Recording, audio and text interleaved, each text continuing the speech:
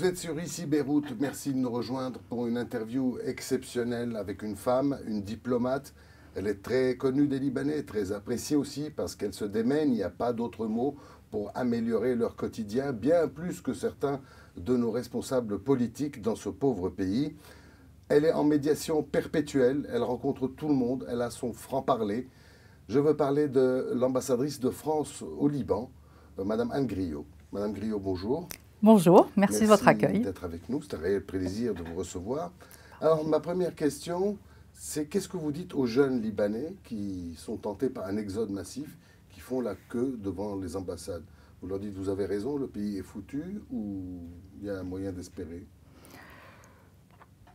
Je ne dis jamais à un jeune qui veut partir euh, qu'il n'y a aucun espoir dans ce pays. D'abord parce que la plupart des jeunes Libanais que je rencontre dans, tous mes déplacements dans, le pays, euh, partir, c'est souvent euh, une solution par défaut. ça, c'est un, des enseignements que j'ai tiré au cours des deux dernières années. C'est qu'il y a un profond attachement de la jeunesse libanaise à son pays et que la tentation de l'exil, c'est une tentation qui est par défaut il faut y voir aussi quelque chose de positif. C'est-à-dire que si les conditions aujourd'hui sont réunies dans ce pays pour leur permettre de concrétiser leurs projets, leurs rêves et un avenir, ils resteront et euh, ils reviendront. Donc en général, ce que je leur dis, c'est quel est votre projet?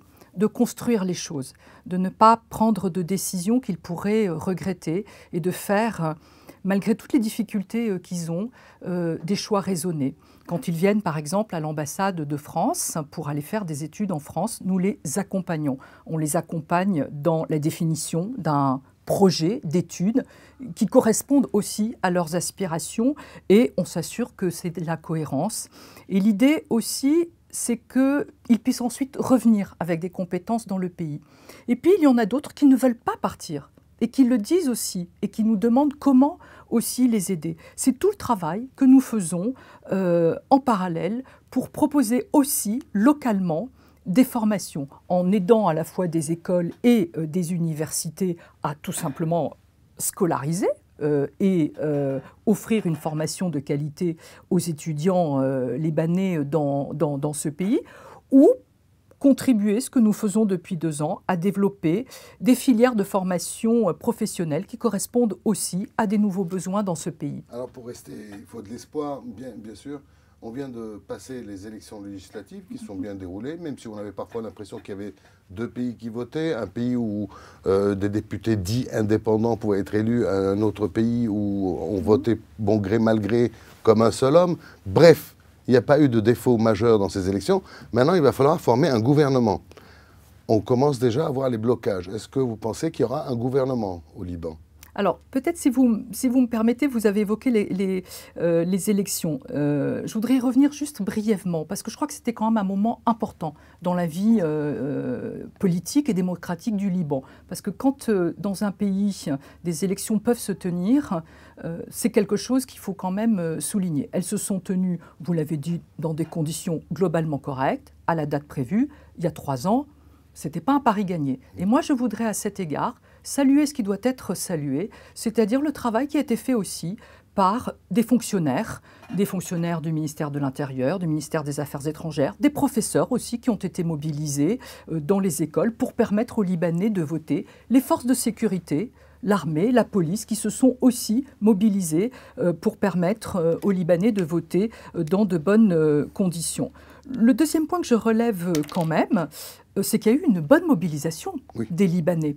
Alors que là aussi, il y a encore quelques mois, on prédisait que finalement les Libanais euh, n'iraient pas euh, voter, que ça ne valait pas euh, la peine. Et finalement, la participation, elle a été celle des dernières, elle a été correcte et celle des dernières les élections législatives. Ce qui prouve aussi que si elle aurait pu même être plus importante, si les Libanais avaient pu encore plus voter. Et là, je crois qu'il faut aussi travailler à euh, améliorer le processus démocratique, c'est-à-dire rendre plus accessible le vote, plus accessible les bureaux euh, de vote, travailler aussi dans ce pays sur l'accès aux médias, sur un pied d'égalité pour tous les, candidats, le contrôle des dépenses. Ce sont un certain nombre d'observations qui ont été faites par, euh, je dirais, la mission d'observation électorale de l'Union européenne. Je sais qu'un média comme ici Beyrouth y est sensible et c'est important.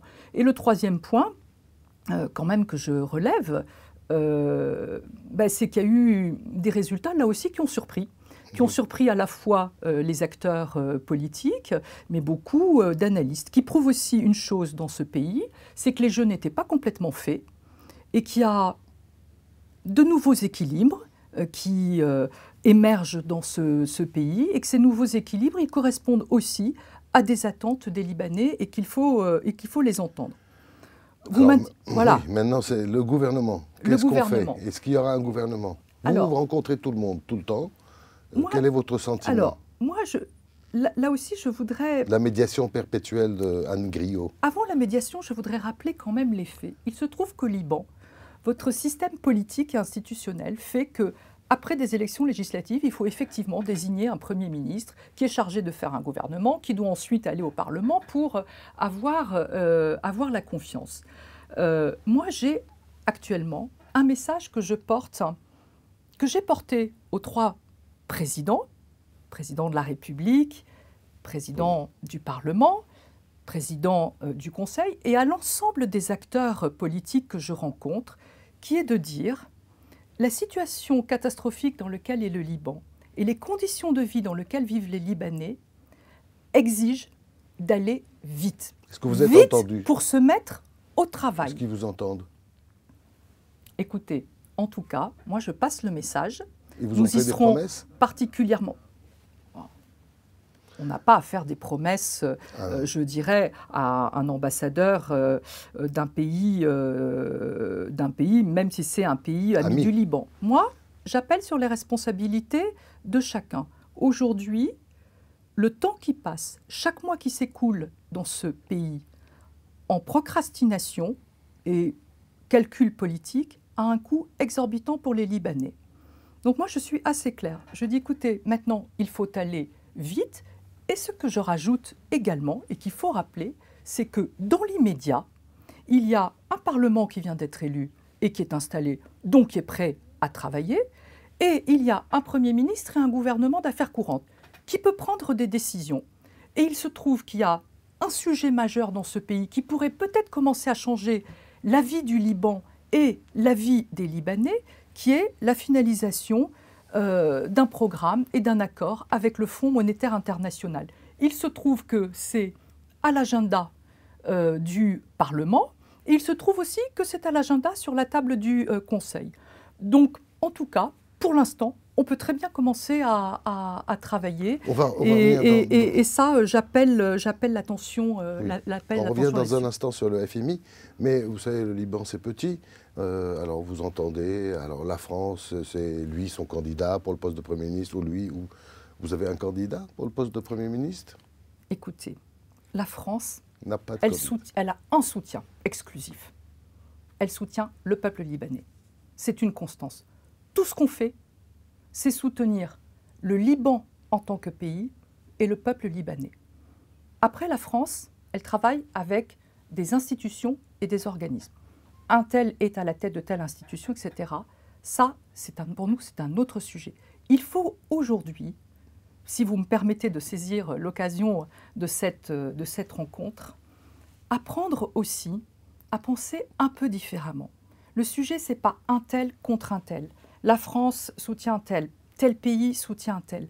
C'est travailler aujourd'hui en regardant ce pays avec des institutions. Je vous dis, nous, on n'a qu'un soutien, il y a qu'un nous avons seul le peuple libanais à notre soutien. C'est la seule chose qui nous guide dans notre action. Et nous travaillons avec des institutions et des organisations. Voilà.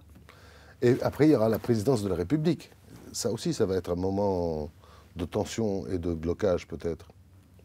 Eh bien, je vous... ce que je viens de vous dire est valable pour la, présidence de, la, de, la, de la République. Il se trouve qu'il y a des que cette année 2022 est une année extrêmement dense politiquement pour le, pour le Liban, avec un cycle effectivement d'élections. Il y a eu des élections parlementaires, il y a des élections présidentielles qui sont prévues à l'automne prochain. Il y a aussi des élections locales, il faut le rappeler parce qu'elles sont importantes, qui sont prévues, qui ont été reportées maintenant en 2023.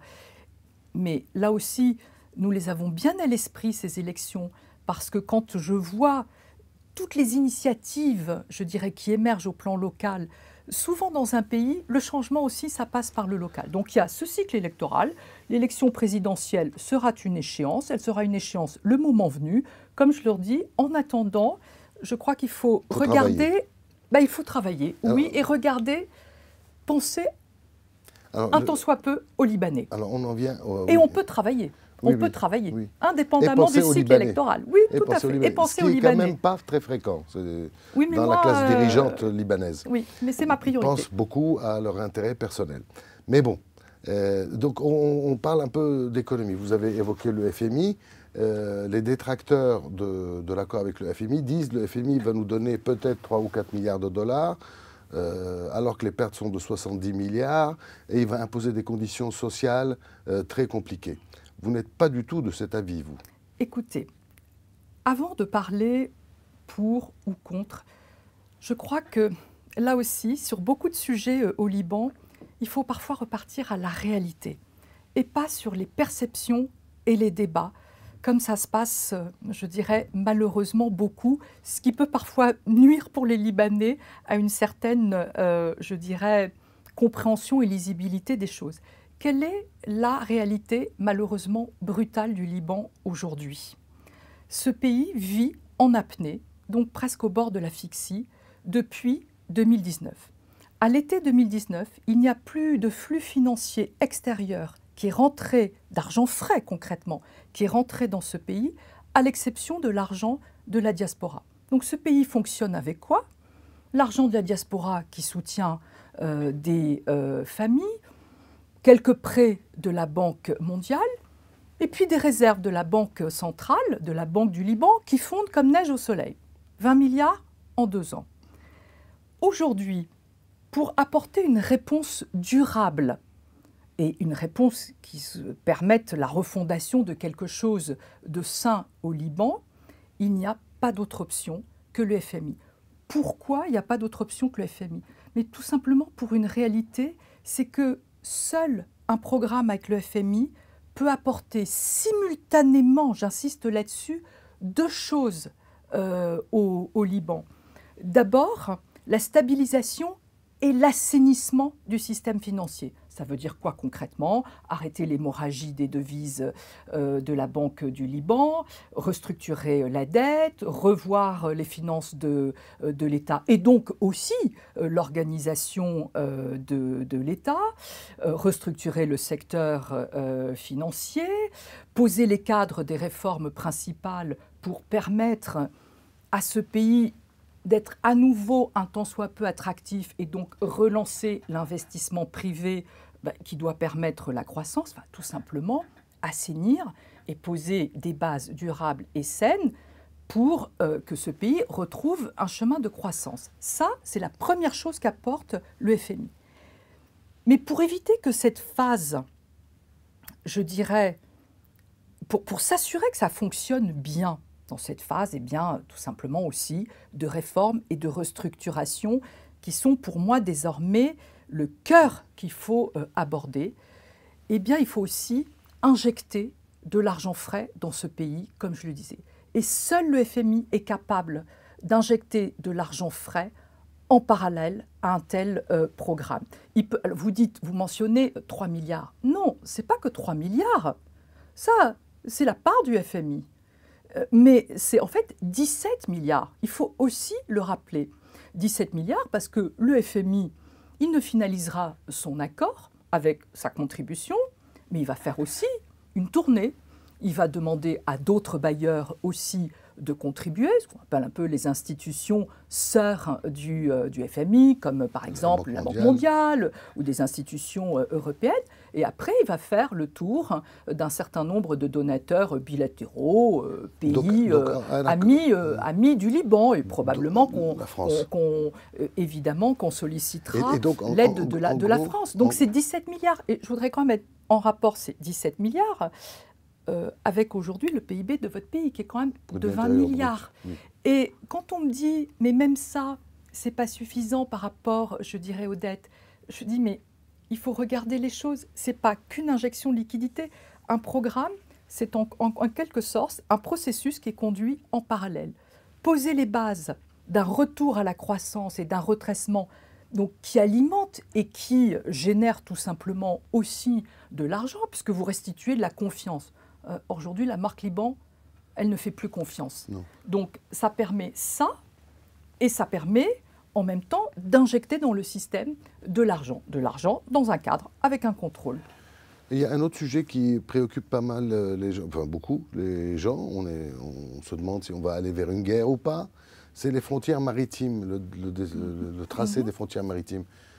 On a l'impression qu'on est en tête à tête, les Américains avec les Libanais, les Israéliens. La France joue un rôle dans moi, euh, sur ce sujet-là. Parce qu'il est euh, compliqué le sujet, parce que les Libanais eux-mêmes ne savent pas trop ce qu'ils veulent, ce qui ne facilite pas un début de négociation. Moi, je dirais. J'aurais. Les derniers développements qui se sont, euh, qui se sont produits les derniers jours, pour moi, ils inspirent une, une, une réflexion. C'est qu'il ne faut pas que le Liban laisse passer à nouveau un train. Un train qui pourrait contribuer à sa prospérité, à sa stabilité, euh, à sa stabilité euh, à la fois économique et financière euh, et de sécurité. Donc le seul message que j'aurais, c'est ça prouve bien qu'il faut reprendre les discussions sérieusement et de façon constructive. Les États-Unis font une forme de médiation bah, qui, est, qui, est, importante. Comme nous, nous faisons de la médiation, je dirais aussi, pour aider le Liban avec d'autres pays.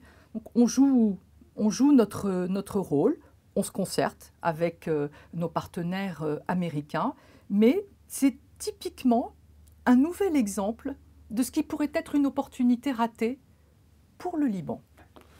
C'est malheureusement, elles se succèdent ces opportunités ratées. Euh, on, Peut-être un mot de ce que vous faites vous-même. On voit des images derrière vous sur ces bus qui viennent, qui ont été livrés par la France. Il y a ce fonds franco-saoudien, il y a aussi toutes les dispositions, entre guillemets, de la France à aider EDL et le port de. Beyrouth, mhm. dont on ne sait d'ailleurs pas comment ils fonctionnent. On voit des camions sortir, des conteneurs arriver, on ne sait pas d'où ils arrivent. Ça, c'est la vie d'un port. Hein? Oui, non, mais, oui, mais normalement, il a mhm. explosé le port, vous voyez. Donc, donc, personne n'arrive à nous expliquer s'il fonctionne ou pas. Donc, euh, vous pouvez nous dire un mot de ce que fait la France Elle est quasiment au chevet du Liban, là c'est le seul pays. Oui, j'allais dire là, vous soulevez, euh, vous soulevez euh, plusieurs dossiers, plusieurs sujets qui montrent euh, effectivement que dans ce pays, on est tous les jours sur tous les fronts pour essayer d'apporter, je dirais, des solutions à la fois concrètes et immédiates, mais qui permettent aussi de poser des jalons pour l'avenir. ça, c'est important. Bon, vous avez évoqué effectivement ces bus qui sont arrivés. Ben, là aussi, c'est assez représentatif, je trouve, de la façon dont, en tout cas, euh, nous travaillons euh, au Liban, en tout cas telle que je conçois aujourd'hui la mission qui m'a été confiée euh, au Liban, c'est-à-dire répondre à un besoin urgent, immédiat des Libanais, tout en posant aussi des jalons pour le futur. Concrètement, il y a un problème de mobilité dans ce pays, tout simplement parce qu'il y a un problème d'essence excusez-moi, mais au Liban, je dirais, les, Libanais sont quasiment assignés à résidence, vu le coût de, de, l'essence. Et pourtant, ben, ils doivent continuer à travailler, ils doivent pouvoir emmener leurs enfants euh, euh, à l'école.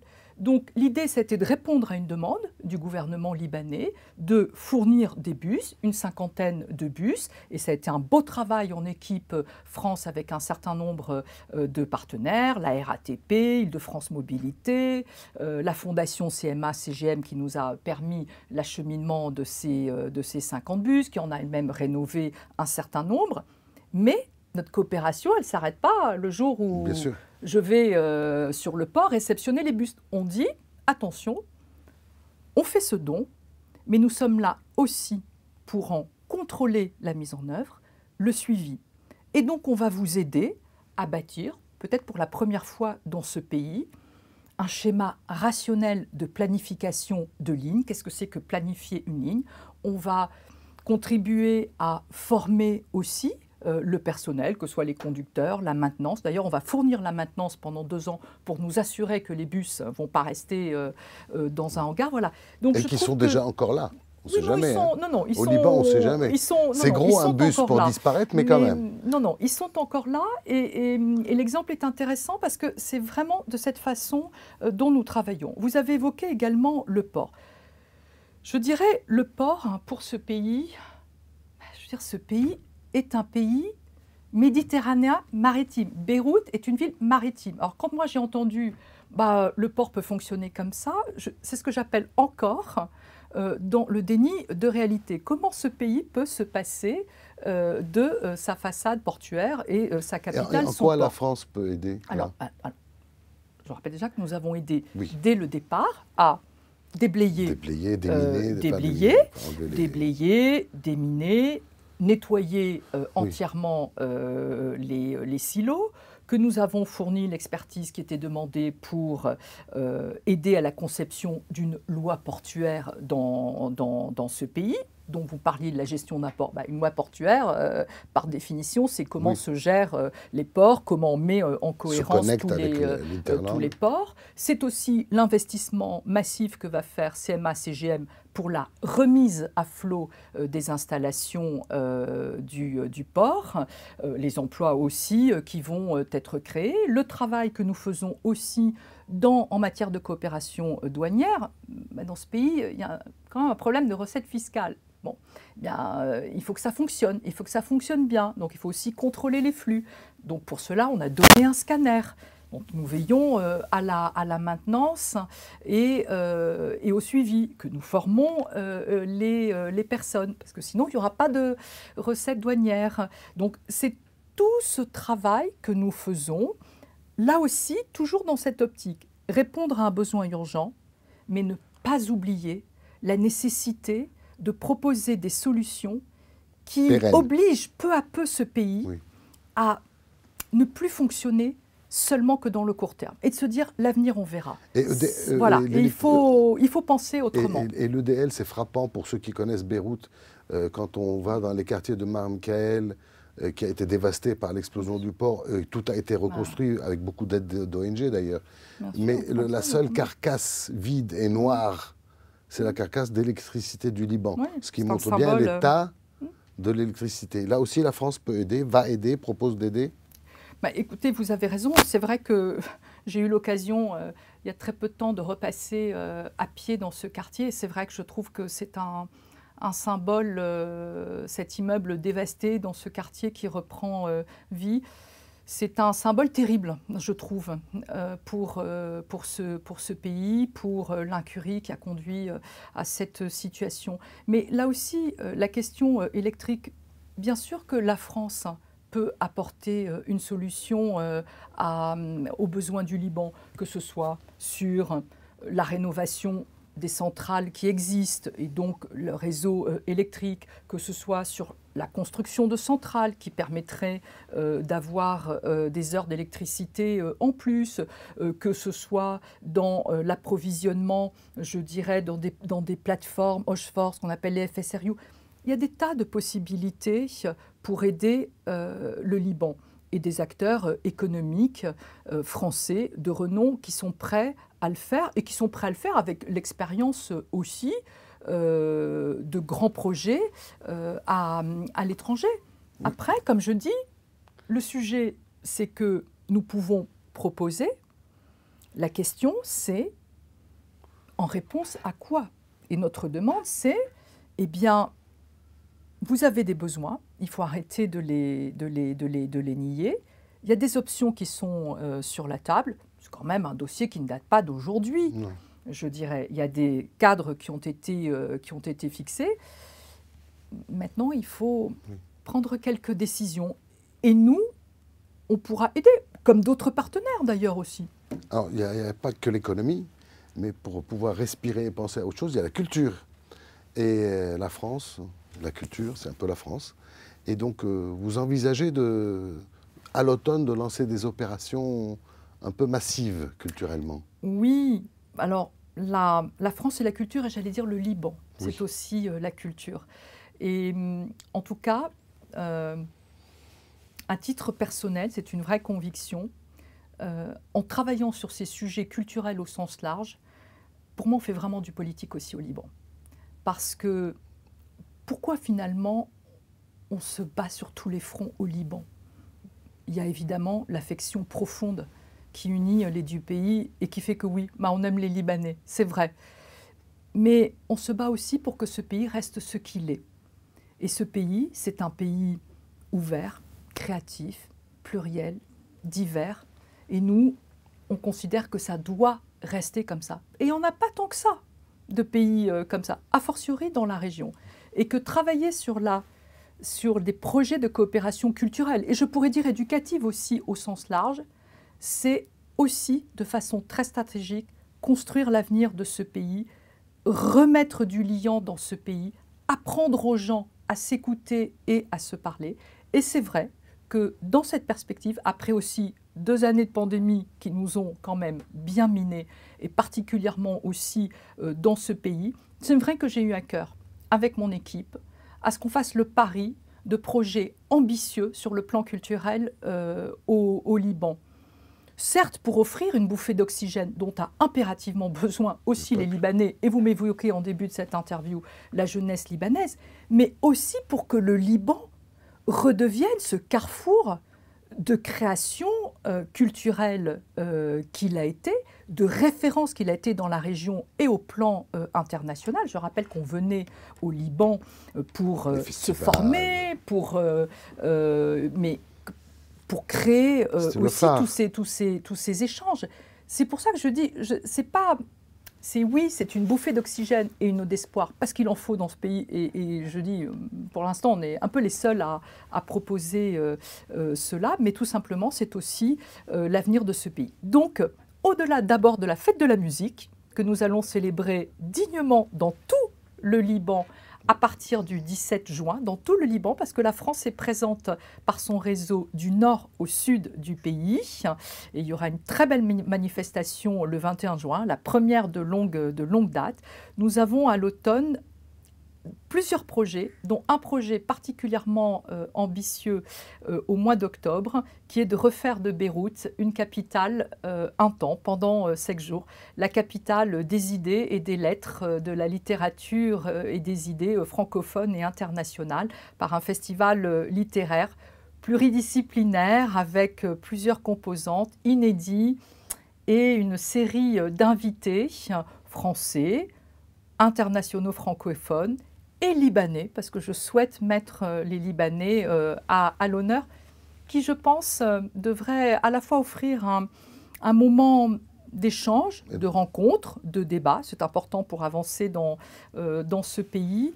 Et puis pousser aussi, travailler à nouveau sur des filières, des filières professionnelles, bah, l'édition euh, au Liban, euh, la création au Liban, le cinéma au Liban. Ça, ça fait partie. Alors vous pouvez être sûr qu'ici Beyrouth sera là hein, pour ce, Mais vous serez invité, rassurez-vous. Et donc d'après ce que je comprends, ça, va faire deux ans que vous êtes là, vous ne regrettez pas, vous n'auriez pas préféré être ambassadeur en Uruguay où il ne se passe rien Oh non, quasiment rien, ça. quasiment rien. Non, non, non. Par rapport au Liban. Vous savez, au non. Et puis, euh, dans tous les pays où j'ai été, Donc vous êtes heureuse au euh, Liban. il, y a, il y a toujours quelque chose, euh, il y a toujours quelque chose à faire dans, dans, dans, dans, un, dans un pays. Et écoutez, moi, ce qui me frappe depuis deux ans, c'est que moi, je suis arrivée dans un Liban euh, Exsangue.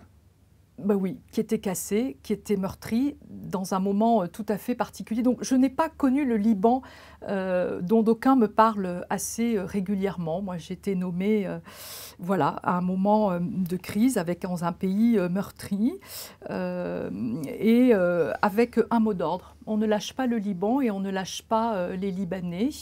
Et je dirais que c'est la constante de mon engagement au quotidien avec mon équipe parce que c'est un travail d'équipe et ce qui me frappe, en fait, depuis euh, deux ans, euh, c'est quand même trois choses, parce que je me déplace énormément dans le, pays. Alors ça, vous avez raison, parfois peut-être plus euh, que, je dirais, certains, certains responsables. Je commence à bien connaître le pays, y compris dans des endroits que l'on pourrait dire d'improbables, mais qui sont autant de pépites et d'expériences. Ce qui me frappe, c'est la même demande partout la même demande, c'est-à-dire je veux me faire soigner, je veux que mes enfants aillent à l'école, je veux pouvoir nourrir ma famille. C'est-à-dire les mêmes demandes et les mêmes demandes finalement, quand vous prenez un peu de recul, euh, je dirais d'institutions qui fonctionnent, un, un minimum. Ça, c'est quelque chose qui est frappant et qui doit inciter à la réflexion quand on parle de l'avenir de ce pays. La deuxième chose qui me frappe, c'est qu'on ne pourra pas construire, en tout cas les Libanais ne pourront pas se projeter dans l'avenir de ce pays qui est fait effectivement de montagnes, de vallées, euh, donc autant d'écosystèmes, je dirais, culturels euh, et historiques, sans une vision un peu stratégique, et en se disant on va laisser ce qui doit être à la périphérie. Et ça, c'est quelque chose que j'ai essayé d'intégrer dans mon action dès le, dès le départ, quand je me suis rendue immédiatement dans le Hakar, à Tripoli, ou dans le sud, ou dans ce qu'on appelle, je trouve parfois, euh, des zones dites périphériques et qu'ils ne sont pas, où il y a un énorme euh, potentiel et nous sommes très, très présents. Et enfin, ce qui me frappe euh, aussi, euh, et qui fait que je pense que ce pays n'est pas perdu et qu'il y a de l'espoir, c'est que tout simplement, ce sont tout simplement les Libanais. Et ne pensez pas que c'est un propos convenu de conclusion d'interview de la part d'une ambassadrice.